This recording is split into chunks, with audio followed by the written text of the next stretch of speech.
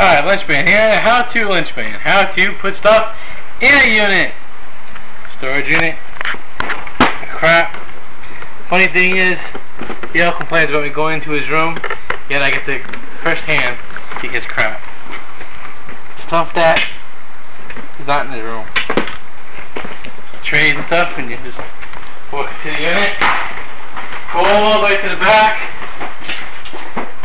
I'll place this stuff. And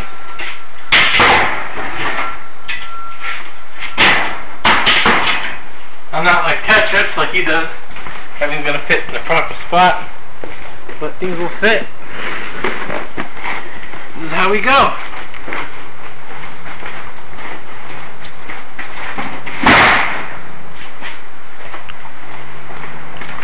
Just keep putting stuff in.